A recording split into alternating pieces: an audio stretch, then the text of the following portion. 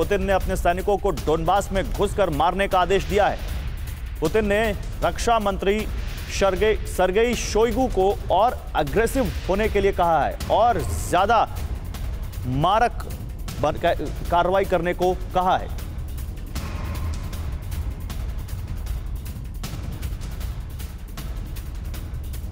और एक और बड़ी खबर है, अगले साल के अंत तक खत्म होगा यूक्रेन का युद्ध। यूक्रेन के डिफेंस मिनिस्ट्री के चीफ का दावा है। उन्नीस सौ इक्यानवे वाले बॉर्डर तक पहुँचने पर यूक्रेन खत्म करेगा युद्ध। किसी भी दूसरी परिस्थिति में युद्ध खत्म नहीं होगा यह कहा है यूक्रेन ने।